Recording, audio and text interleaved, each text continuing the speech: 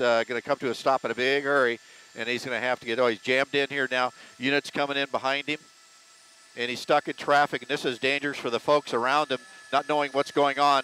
And we'll watch for that passenger. See the passenger's out of the car, and it's uh, starting to fire right now. He's firing at him.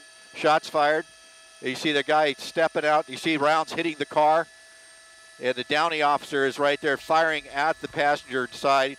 And the passenger fired back at him. So right now we're just going to pull out just a little bit here because you see it's an active gunfight going on right now. The driver's hit, but it's starting to move away.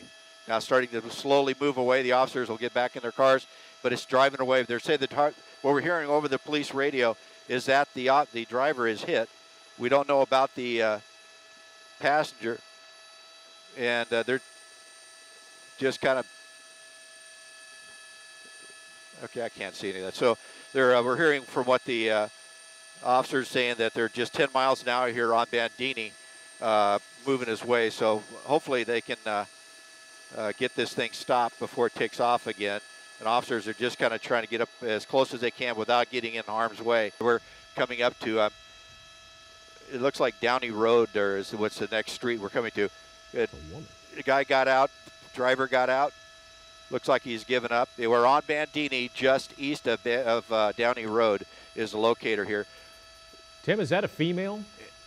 I can't tell. We're, we're such a wide shot here. I can't. I could. You're gonna have to help me out with that because of uh, the, your monitors are a lot better than ours. So, well, and we can tighten up. Now, I think you. So I think you could zoom in, in at this point. Yeah, yeah, we just told told to zoom in. So there you have it. Yeah, it looks like a female. Has uh, looks looks like she's got uh, bleeding on the arms there. It's coming forward.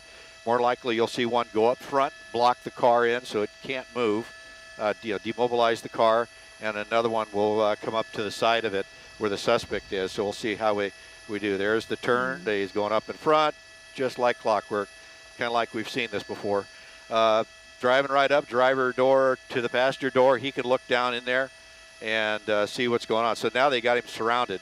That suspect, he is now in police custody. He was transported away from the scene here just about an hour ago. At this point, we're trying to confirm his condition if he was injured, but this is a completely different scene now compared to earlier this afternoon. Take a look behind me. This is the corner of Downey and Vernon here in the city of Vernon, very close to where this pursuit came to an end around 245 this afternoon. Downey police, LA County sheriffs, as you can see, they're slowly clearing this scene. It has been quite a day. At this point, we can confirm one of the two people involved in this pursuit and shooting is in fact the suspect from a previous incident earlier this week, a murder suspect related to a shooting at the ASL liquor store that resulted in the death of the co-owner 44-year-old Gurpreet Singh. We'll get into that side of the story in a minute, but just to rewind back to this afternoon to this pursuit, take a look. This is Sky 5 video as this chase was happening. This all started as a pursuit of a murder suspect in a black Toyota Prius out of Downey. At some point, this guy was seen shooting out of the passenger side window at pursuing officers. A barrage of bullets flying back and forth as this chase continued from Downey to the city of Vernon, where we are now.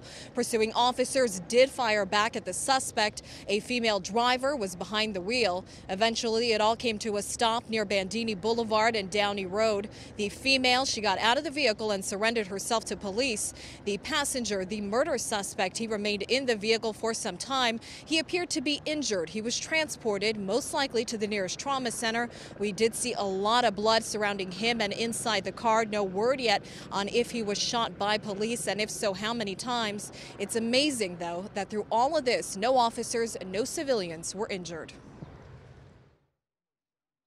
I was, you know, busy working on my truck, and next thing I know, it's just zoo. Nothing but lights and this guy flying in front of him. This is LA. This is every three days you're gonna get one of these around here. Now, again, Downey police confirming this is the same man involved in a separate incident on May 7th, a deadly shooting at the ASL liquor store on the 8500 block of Paramount in the city of Downey. A man by the name of Gurpreet Singh was behind the counter that night. He is the co-owner.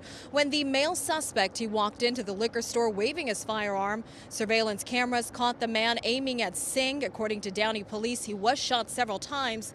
It's unclear what the relationship is between the two men or the motive motive behind that shooting. At this point, the shooter confirmed to be the same man. He is now in police custody. Now, back out here live again, that man was transported to a nearby hospital. Uh, his condition unknown at this point. As far as the scene here, a completely different situation compared to earlier this afternoon. They are clearing this area, Bandini, all the way down to Downey and Vernon, where we are now. Slowly, the streets here are starting to reopen. That is the very latest reporting live here in the city of Vernon. I'm Lena Bobian, KTLA 5 News. Right, Alina, thank you so much for that. We continue our breaking news coverage of this high speed chase and shootout from the air now and over to Tim Lynn in Sky 5 overhead. The scene. Tim? Well, I can tell you this is one of the wildest pursuits I've covered in my time here in Sky 5.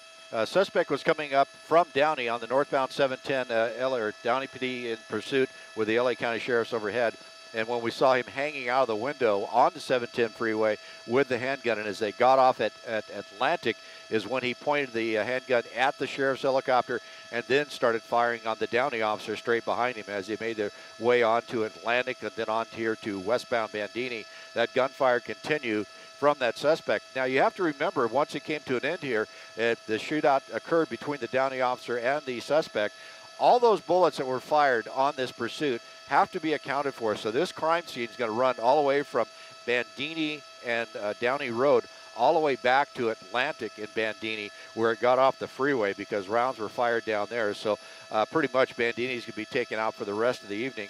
And this investigation will go on for many more hours while they try to determine where every one of those rounds went and to make sure no one else was hit during this pursuit. But a very wild and dangerous pursuit that came up that 710 in excess of 100 miles an hour. Just unbelievable to watch here from Sky 5.